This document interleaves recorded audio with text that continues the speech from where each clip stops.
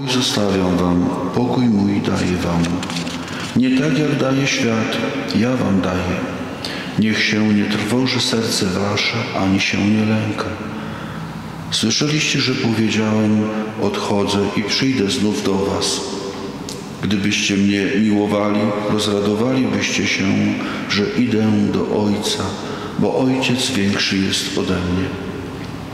A teraz powiedziałem wam o tym, zanim to nastąpi, abyście uwierzyli, gdy się to stanie.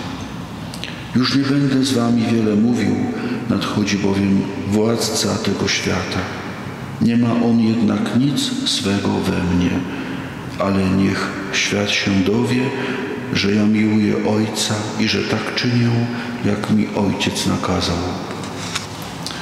Oto słowo Pańskie.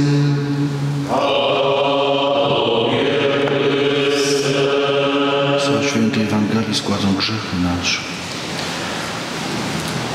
Niech Pan obdarzy Was spokojem, drodzy bracia. Trzeba, by wywyższono Syna Człowieczego, aby każdy, kto w Niego wierzy, miał życie wieczne. Każdy, kto uwierzy, żeby miał życie wieczne, kto uwierzy w Jezusa Chrystusa, tak to mocno ta prawda żyła w sercu apostoła Pawła i innych jego towarzyszy, że poszli do ludzi, którzy byli obcy, których nie znali, żeby głosić właśnie tą dobrą nowinę miłości Boga. Dzisiaj dzieje apostolskie opowiadają nam o sytuacji, która się yy,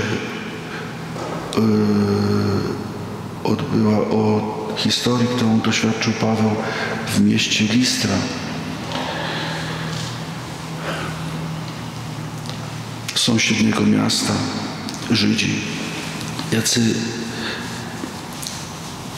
znienawidzili Pawła i to, co jego głoszenie Ewangelii przyszli świadomi tego, że teraz właśnie w Listrze będzie przepowiadał, głosił i podburzyli miejscowych Żydów, obwiniając Pawła o,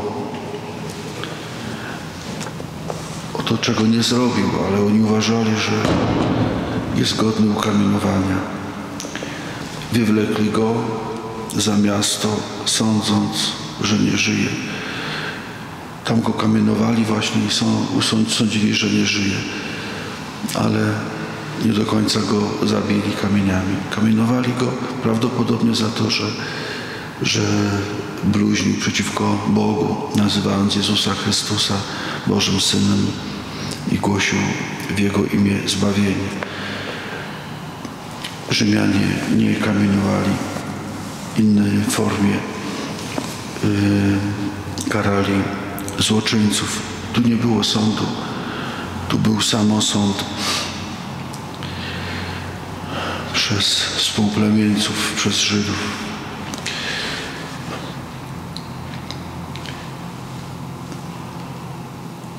Niektórzy komentarze mówią, że naprawdę zabili Pawła kamieniami. Ale potoczyli go uczniowie. Ci, którzy uwierzyli z listry, miejscowi uczniowie Jezusa, ci, którzy z nim byli i modlili się i Paweł, Paweł został wskrzeszony. Co robi Paweł? Wraca z powrotem do listry. Tego miasta, miejsca, którego go kamienowali. Później następnego dnia idzie do sąsiedniego miasta, żeby głosić znowu Jezusa. Przecież po takim wydarzeniu porada, jaką mo moglibyśmy dać Pawłowi, schowaj się, wróć z powrotem do Antiochii, tam bezpiecznie, schowaj się gdzieś, żeby cię nie, znowu nie, nie zatłukli, jak ci się udało pierwszym razem uniknąć śmierci. Odruch normalny. A Paweł działa inaczej. Miłość do Jezusa i chęć głoszenia ludziom Ewangelii jest tak mocna, że nie zwraca na to uwagi. za chwilę znowu mogą go zabić. Tylko wtedy, tylko wtedy będziemy mieli yy, odwagę głoszenia Ewangelii ludziom wrogim, nieprzyjemnym, nieprzyjaznym, gdy uwierzymy i spotkamy zmartwychwstałego Jezusa. Bo On daje, zabiera strach przed śmiercią. Diabeł trzyma, jak mówi list do Hebrajczyków, nas w strachu przed śmiercią. On kontroluje nasze zachowania. Właśnie będziesz nieprzyjęty, będziesz odrzucony. Nie mów tego, nie idź tam. Mogą ci krzywdę zrobić. Ten, kto spotkał zmartwychwstałego, ten, który doświadczył w sobie tego procesu zmartwychwstania, ten będzie miał odwagę zwyciężyć strach. Strach jest rzeczą, jest sprawą, która tym, tego doświadczamy. Każdy normalny człowiek doświadcza strachu. Kontrol nad strach, kontrolę nad strachem może mieć właśnie demon. I może cię trzymać i na mszę świętą nie wyjdziesz bez kartki, na mszę świętą nie wyjdziesz, jak się nie przygotowujesz kazaniu nie powiesz, za bramy kościoła nie wyjdziesz, w habicie, w sutanie nie wyjdziesz, bo cię wszyscy, bo cię będziesz bał odrzucenia, że ci ktoś napluje w twarz, że cię, że cię zhańbi słowem, że cię odrzuci. To jest forma śmierci. Strach przed śmiercią, więc On może kontrolować nasze życie. Pamiętam, Panie Boże, przebacz mi, jak bałem się pójść do szpitala w Kijowie. Tam ktoś potrzebował, żeby go ochrzcić, a może nie potrzebował, no może nieprzygotowany. Pani, która towarzyszyła, pójdziemy bracie, tam nam nic nie zrobią. Ja się bałem, ja nie poszedłem. Jak strach może paraliżować? Jak może trzymać kontrolę nad nami? No nie trzymał kontroli diabeł nad sercem Szawła, ponieważ Pawła, ponieważ on zmartwychwstałego spotkał. On spotkał go osobiście. Głosić Jezusa, który żyje lekko, oczywiście, zambony, a później winnicy podszedł, gdy po mszy świętej chodziłem przed kościołem, jeden człowiek mówi, jeden pan mówi, y, wy twierdzicie, że Bóg jest, gdzie go ja mogę spotkać. Jak jest żywy, to gdzie ja go mogę spotkać? No, ja mówię, ja go tylko co spotkałem w Eucharystii. Czasami chce się jakichś spektakularnych yy, takich opowiadań, jak Pan się zjawił, tak jak Pawłowi, czy w innych sytuacjach ktoś zobaczył go Jezus żyje, spotkałeś Go, dlatego jesteś dalej kapłanem, bo to wymaga samo zaparcia się, ofiary z Twojego życia. I masz siłę to czynić, ponieważ Jego spotkałeś, On Ci tą siłę daje. Jeżeli przychodzisz do spowiedzi, znaczy wierzysz, że On żyje, ponieważ yy, pokazujesz swoją nędzę i prosisz o miłosierdzie. Gdybyś nie wierzył, nie przyszedł, byś Głosisz, masz chęć, nie masz chęci. Proszą, jedziesz, zmęczony, niezmęczony. To jest dowód na to, że żyje, że wierzysz zmartwychwstałego. On ci daje siłę, dlatego robisz wbrew sobie, we w swoim marzeniu, oczekiwaniu.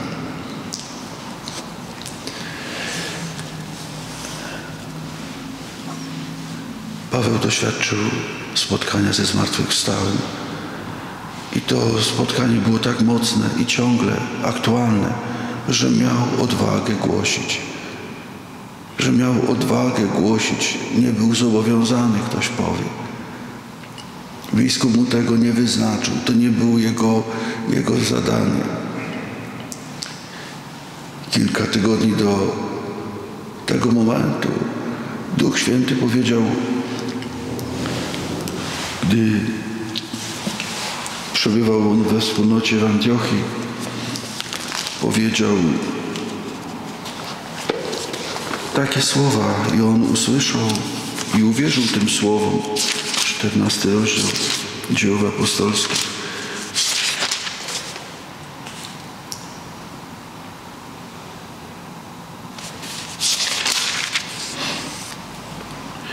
Antiochii, w tamtejszym kościele byli prorokami, nauczycielami, Barnaba i Szymon i inni. Gdy odprawiali publiczne nabożeństwo i pościli, rzekł Duch Święty, wyznaczcie mi już Barnabę i Szawła do dzieła, do którego ich powołałem. A oni wysłani przez Ducha Świętego poszli. Więc Duch Święty ich wyznaczył. On wiedział, że idzie dlatego, że Duch Święty go posłał. Duch Święty powiedział mu te słowa ma relację z Bogiem. On słyszy ducha, on wierzy, że to duch poprowadził go. Duch Święty mu kazał. Powiem takie osobiste świadectwo. Gdy święcony, wtedy szukałem, jaka jest moja misja jeszcze jako właśnie tego kapłana, gdzie Pan mi miejsce wyznaczył. I otwierałem, otwierałem Słowo Boże i wierząc, że Pan mi przez to Słowo powie, no. On powiedział, ale nie zrozumiałem. Otwarłem na y, miejscu w dziełach apostolskich gdzie jest właśnie powiedziane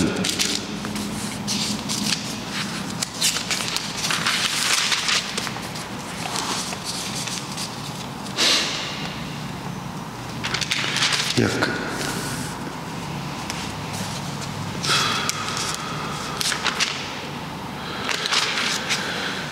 cóż teraz nie znajdę, ale wam opowiem gdzie w Troadzie Paweł ma widzenie i, i przychodzi Macedończyk, czyli ktoś z Europy w tym widzeniu i mówi przyjdź i, i głoś nam Ewangelię.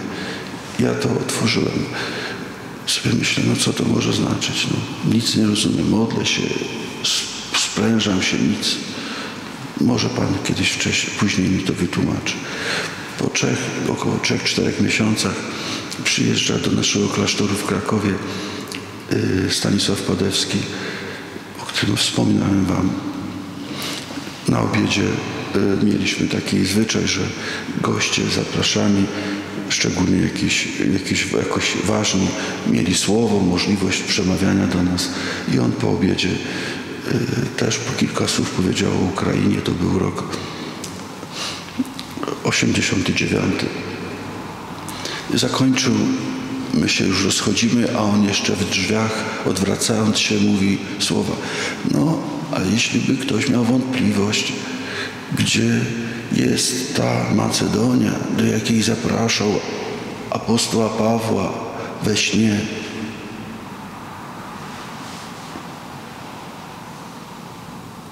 ten mężczyzna, który mu się przyśnił, to niech wie, że to jest Ukraina. I poszedł. Ja wiedziałem, że to jest słowo do mnie. Nikt więcej nie powiedział. Nikt więcej o tym nie wiedział, tylko ja, Pan Bóg i wszystko. Jeżeli przyjechałem na Ukrainę dwa lata później, to, to dlatego, że takie było słowo. Pan mówi. Ja się bałem. Ja nie chciałem, ale to było słowo od Pana. Więc yy, Paweł szedł za duchem i duch może tak mocno kierować człowiekiem, tak mocno dawać mu siłę do przepowiadania, że nawet śmierć nie jest przeszkodą. Wracamy, będziemy zranieni, gdy będziemy przepowiadali. Musimy się na to przygotować. Jeżeli chcesz być sterylny od zranień, no to pomyliłeś y, powołanie Przez wiele y, wypróbowań trzeba nam przejść do Królestwa Bożego. Dzisiaj słyszeliśmy. To się stosuje każdego z nas. Jak Jego, naszego Pana, tak i Ciebie będą odrzucali. No to nie jest dowód na to, że coś złego robisz, że niewierną drogą idziesz, że nie jesteś na swoim miejscu, doświadczysz. Dlatego właśnie, że należysz do Pana i dlatego właśnie, że dzieła Boże czynisz i w duchu chodzisz.